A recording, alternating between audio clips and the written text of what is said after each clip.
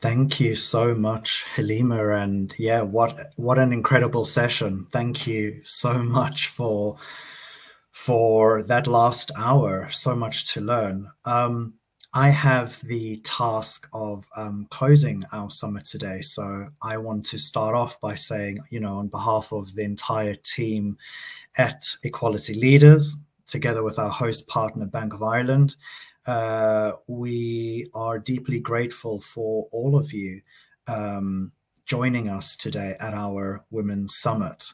A special thank you goes to our panelists who have provided us with so much learnings, much reflection, and also those actionable steps on how we can all choose to step up and how we can enable that meaningful, impactful change across our organizations and communities. Today's really afforded us that opportunity to come together and have those open, bold, inclusive dialogues. And it's also served as an opportunity to celebrate International Women's Day, served as a platform from which we've passed the mic onto women of color who continue to speak truth to power, continue to redefine an exclusionary status quo and boldly stand their ground to exist loudly without permission.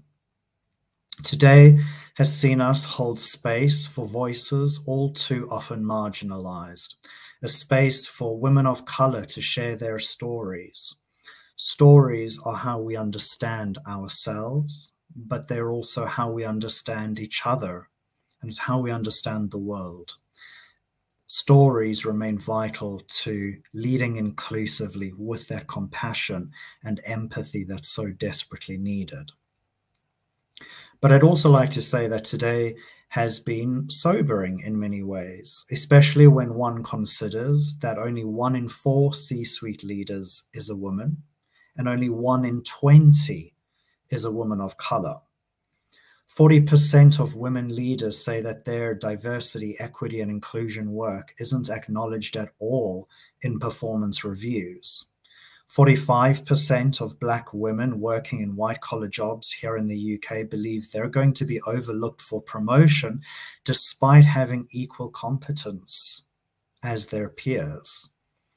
And South Asian women take on average two months longer than white colleagues to land their first job after leaving education. We've spoken to trailblazing hijabis, exploring what it means to be Muslim women and leaders today and the ways in which they are reclaiming and rewriting their own identities. We've spoken to our Pan Asian women leaders who explored the ways in which they've had to navigate their conditional inclusion, which often comes as part of that model minority myth, a myth which serves to divide people of color and specifically serve as a tool of anti Black racism. It creates that hierarchy of good immigrants versus bad immigrants, and it essentially erases Asian identities altogether.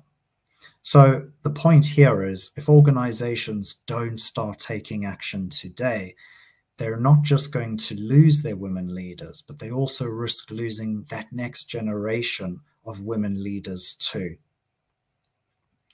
Black, brown, Asian women deserve more, more recognition, more access, more understanding, more pay. And there continues to be a cacophonous furor, right, of getting a seat at the table. Actress and author Lilly Singh, and we've actually included her um, TED talk in the swag bag, which you can download from our website. So please do take a look. Lilly Singh says that her goal was always a seat at the table. It's what women are conditioned to believe success is and looks like. And when the chair doesn't fit, when it doesn't reach the table, when it's wobbly, when it's full of splinters, women don't have the luxury of fixing it or finding another one. But they try anyway. And they take on that responsibility and they shoulder that burden. Lilly goes on to say, I've been fortunate enough to sit at a few seats, at a few different tables. And what I've learned is that when you get the seat, trying to fix the seat won't fix the problem. Why? Because the table was never built for us in the first place. What is the solution? Build better tables. So let this be our challenge, our mission a future where we have longer tables and more seats that actually work instead of fighting for a seat at the old ones that don't. A future where everyone is seated at the table equally, and a future where being assigned female at birth is not a disappointment or a disadvantage because girls are encouraged, empowered, and expected to do great things. So thank you so much once again, everybody, for today, for all your reflections, your comments, your questions. And we look forward to hosting you next time at one of our upcoming summits. Bye for now.